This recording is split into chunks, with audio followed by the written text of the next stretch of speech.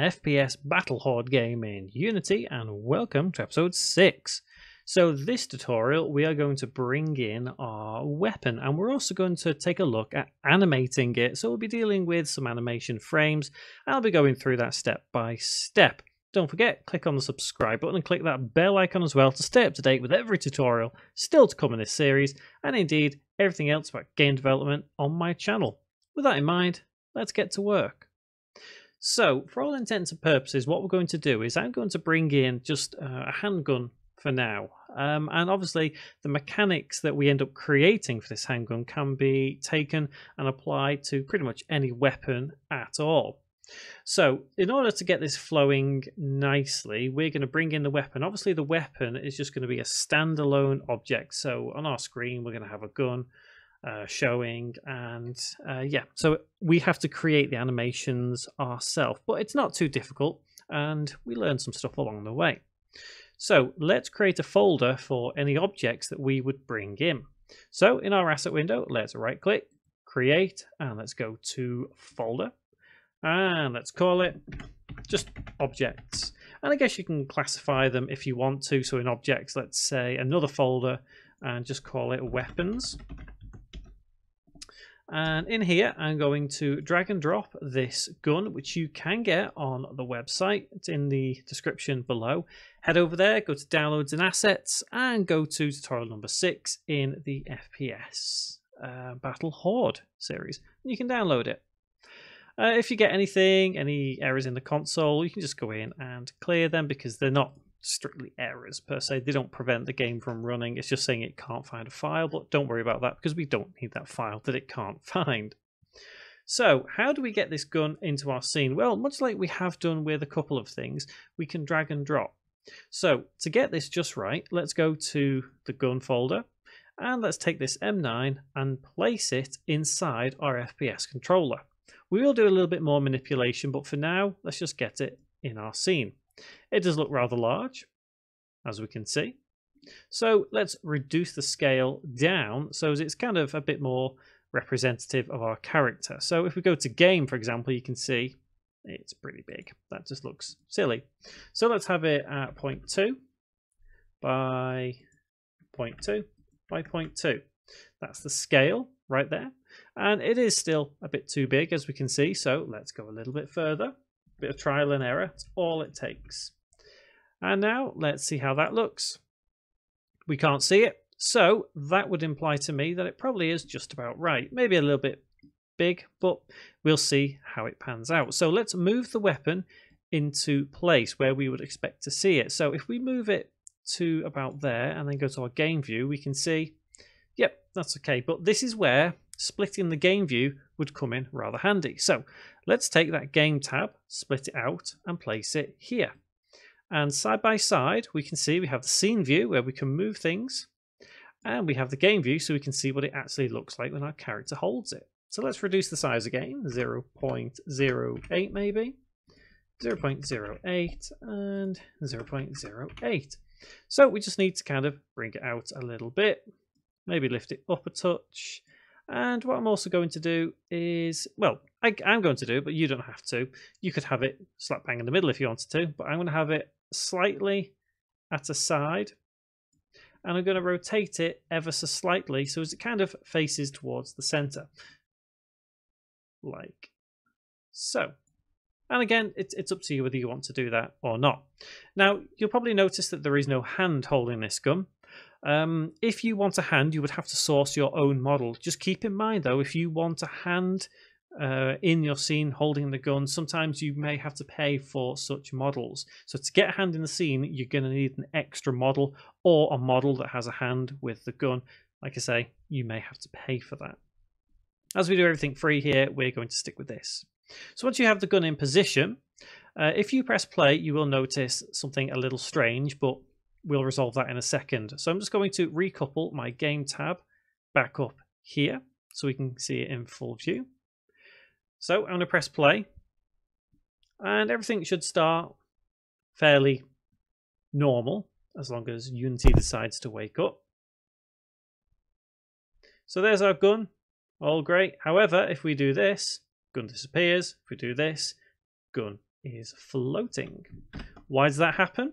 It happens because it's attached to the FPS controller and not the first person character. Remember, the character is ultimately the camera. That's why we have the camera preview there. So everything is rendered through here. So that means that we have to attach our gun to the first person character, not the first person controller. That then means that when we press play, we're able to see the gun normally.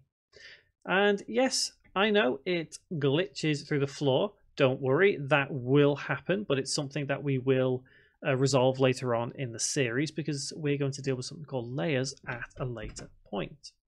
So what I think I'm going to do now is I'm going to pull my FPS controller up, or rather the first person character, up a little bit because I don't want them to seem like a bit of a dwarf.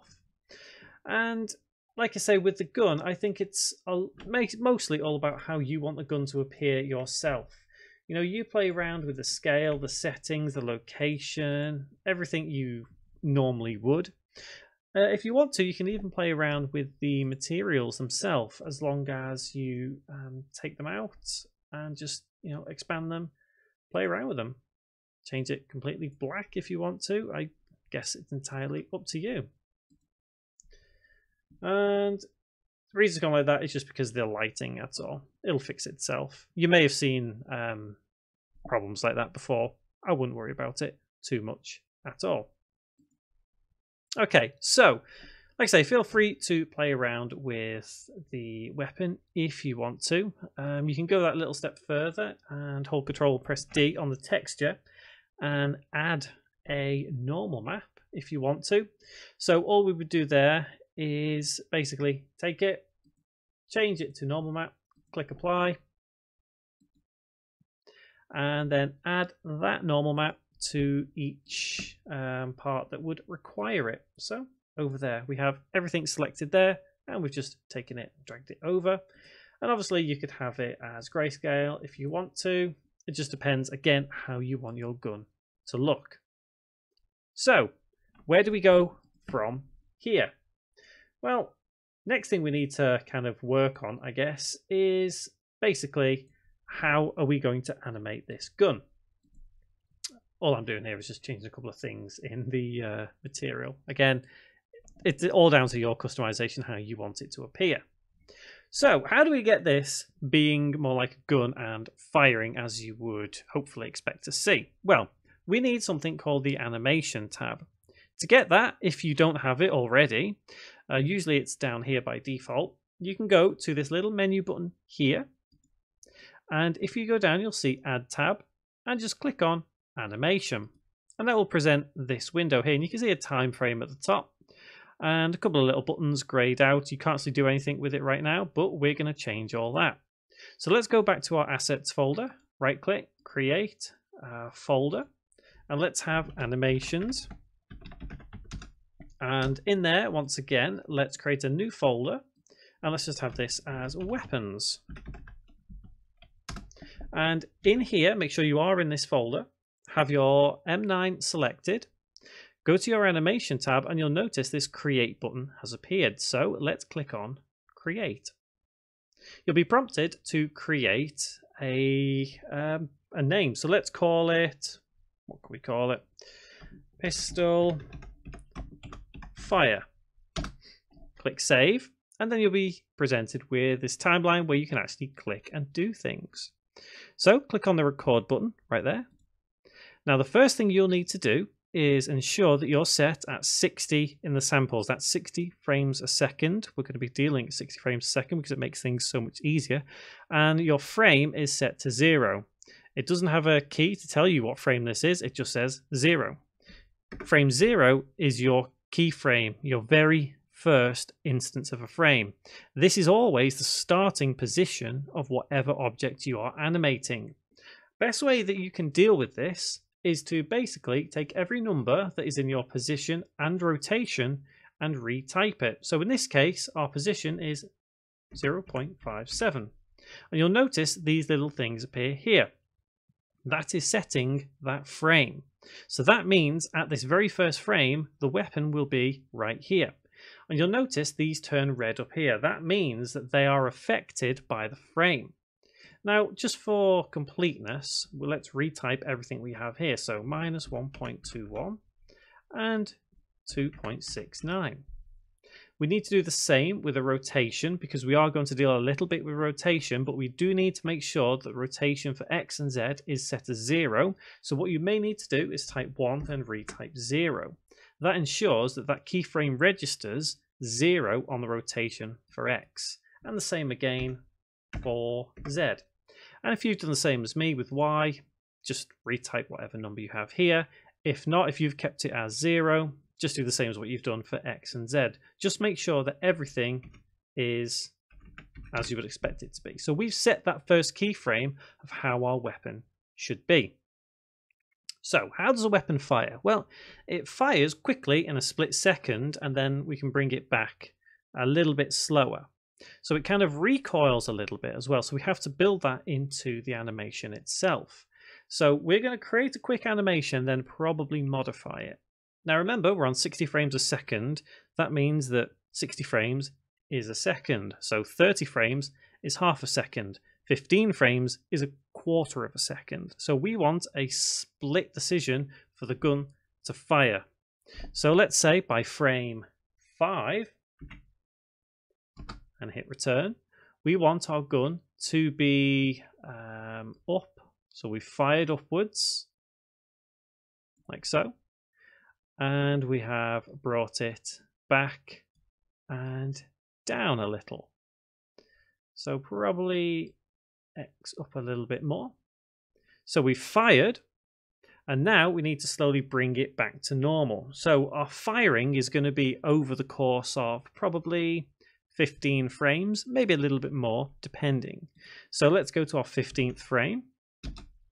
And all we need to do is reset everything to how it was. So let's just basically copy everything back over.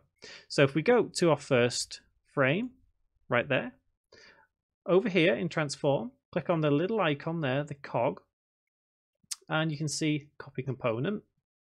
So copy, then let's go back to our 15th frame and let's go here and let's go down to paste component values what that will do is it will replicate that first frame. And as you can see, it's gone back to normal.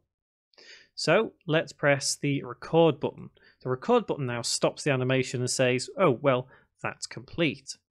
Now, this is going to look a little bit crazy when we press play, but we should get um, basically a quick view of how the animation looks. There we go. So if we were to basically play the animation, that is how it would look. So let's refine this a little bit more. Let's do a bit of uh, refinement. So the timing looks relatively okay, but let's say we want our gun to really recoil. So let's go back to the animation tab and click on record. Let's go to frame 5 where the action has all taken place and let's bring it down a little bit more and recoil upwards even more. And let's press record again to stop that animation and then press play. And we should be able to see that extra. There we go. So it does look crazy, but if you can imagine that happening just once, you would see the point. So let's go to our animation right there. Pistol fire and untick loop time reason I don't tick loop time is I don't want the animation to loop. I only want it to play once. So if we press play, it's already happened by the time we've actually seen anything. But what we can do is, let's say it's a big, I don't know, a Magnum or something, you fire it and it takes a bit of time to come back. So what we could do, for example, is press record again on the animation and we could take this uh, keyframe 15 and move it to keyframe, what would that be? 40 right there. So you'll see it fire and come back a little bit slower than what it did before. So that's something you can work with. It's up to you how you want your animation to appear, how well animated you want it to be, but generally you'll be able to see that most of the time you're working with, um, you're working with frames in this case, there are other ways to animate, and don't get me wrong, there are better ways, there are worse ways. I always feel like using animation in this sense gives you quick and easy control of what you're doing. So, overall, a lot of things do get animated in Unity, and this is just one of the basic ways that we would animate in this case a gun.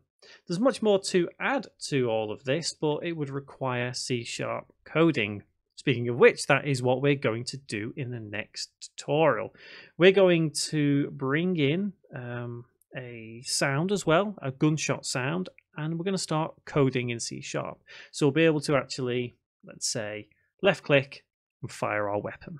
So until that next tutorial, guys, you get your animation just right. You get the weapon how you want it to look in the right place, and I'll see you in the next tutorial. Thank you very much for watching.